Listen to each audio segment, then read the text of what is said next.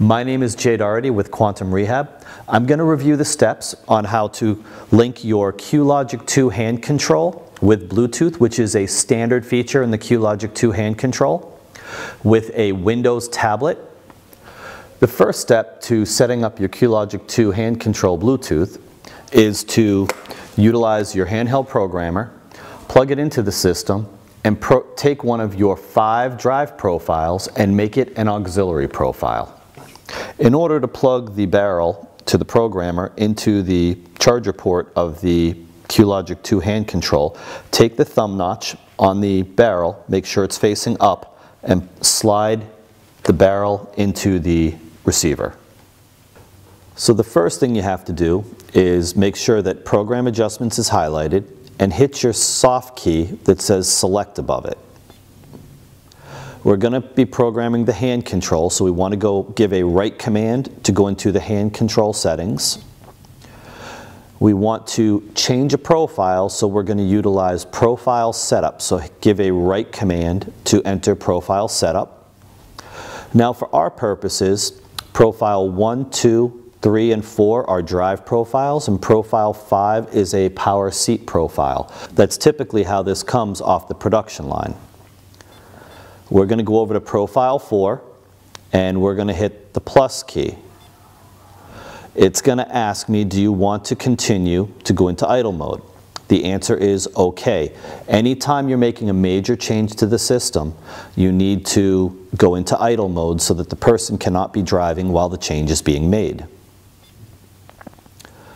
So we're going to go to we're going to hit the plus key until we see profile 4 change to aux profile. That's auxiliary profile. And the steps are completed. We now need to cycle the power to the power chair off and then back on in order to resume use of the chair. So you'll notice if I go, we changed profile 4 to an auxiliary profile. So there's P, P3 it goes right to our seat profile because we haven't turned on the Bluetooth feature yet. So the first thing we have to do is click the green menu button. We're going to go to hand control settings and give a right joystick command. We're going to go down to Bluetooth, give a right joystick command, and we're going to turn on the mouse function because we're going to link this up to a Windows-based tablet you'll see that there's a plus and a minus. Right now it says mouse no. We have to push the joystick forward to turn the mouse on. And you'll see that power cycle is needed. So we're going to shut the chair off and turn it back on. We need to push the mode toggle forward until we get to profile 4 you now see that we have an auxiliary menu available and remote control. We're going to give a right command on right remote control, a right command of the joystick on Bluetooth, and we have to make the Bluetooth visible. So we want to give a reverse command on the joystick, then a right command, and again, the plus is forward, so that's how we turn Bluetooth visibility on. We're then going to give a left command. This brings us back to this screen you see here. We're going to give a forward command to highlight mouse and we're going to give a right joystick command to enter it. This screen here is telling me that the Bluetooth unit in the hand control is looking for the device that it's going to sync up to. So what I'm going to do, this is a Windows-based tablet and I'm going to plug in to search Bluetooth. Oh, there we go. Bluetooth settings. I want to go in. And you can see here that mouse 6124 and mouse 6124 are on both.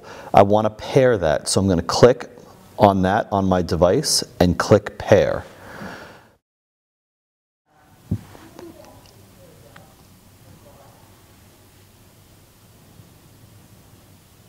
As you can see, we're connected on here. That's our mouse that was on the screen of the hand control. And we're connected on here uh, that you can see because the mouse is showing up on the hand control screen. So now in order to control the mouse, all we have to do is move the joystick and you can see the mouse arrow on the screen is moving. However, now we need the ability to provide mouse clicks. There's a variety of ways to do so. The next step is going to show you how to use the two buttons on the hand control, or there is an ability to use an external switch in order to do your mouse clicks. So again, we need to plug in our handheld programmer, which I've done so already. And we need to go to Program Adjustments, hit Select, give a right command on hand control settings because we're dealing with a hand control. This time we want to give a down command on the touchpad until we see Bluetooth. Once Bluetooth is highlighted, give a right directional command with the handheld programmer and go down to clicks. This allows us to decide how the person is going to do the mouse clicks on the device that they're using. So the first one in the choices is switches. This requires that a, that a mouse click PTO harness be purchased from Quantum Rehab and plugged into the power module. This device allows us to plug external 1 8 inch jack switches into the harness and these switches can be utilized for mouse clicks. So the next choice is we hit the plus key on the programmer and it says base toggle. This uses an external left mouse switch from the power base, again using the mouse click PTO harness to toggle between mouse movements and mouse clicks. So the person would hit, this, hit the external switch in order for mouse clicks to show up on the hand control screen. Going to hit the plus key again. Base auto is the next choice.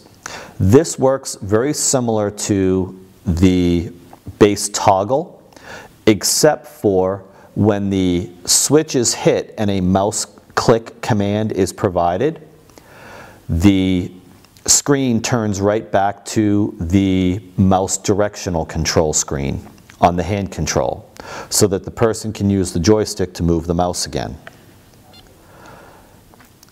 Base hold is the next choice. Again, this requires the mouse click PTO harness and the mouse clicks are only active as long as the switch that's plugged into the harness is held down. So the person holds down the switch, moves the joystick in the direction of the mouse click they want to provide, and then releases the switch and the hand control will go back to mouse movement. Our next choice is mode toggle. This uses a switch plugged into the mode jack, and this switch toggles between mouse movement and mouse clicks. That will be seen on the hand control screen if you're in mouse movement or mouse clicks. Mode auto. This is the same as mode toggle, but again automatically returns back to mouse movement after a mouse click is achieved. So the person would hit the switch, go to mouse clicks, make the mouse click choice, the screen would automatically change back to mouse movements.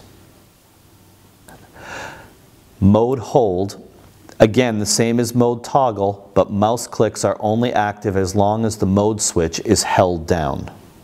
Key toggle, this allows the 1 and 2 buttons on the hand control to toggle between mouse movement on the screen or mouse clicks on the screen.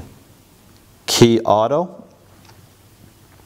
This is the same as key toggle, but automatically returns to mouse movement after a mouse click is achieved. Key hold.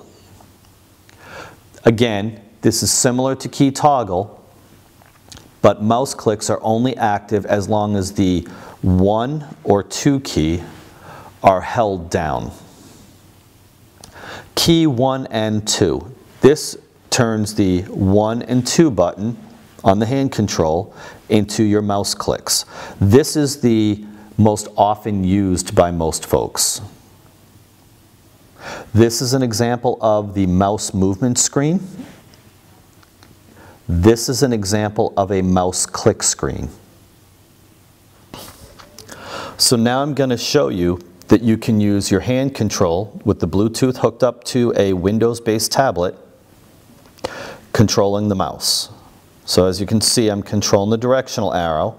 Now I'm going to slide this bar so we can see what's over to the right of the screen. I'm going to click my button. I'm going to pull back to give a left and drag command for mouse clicks.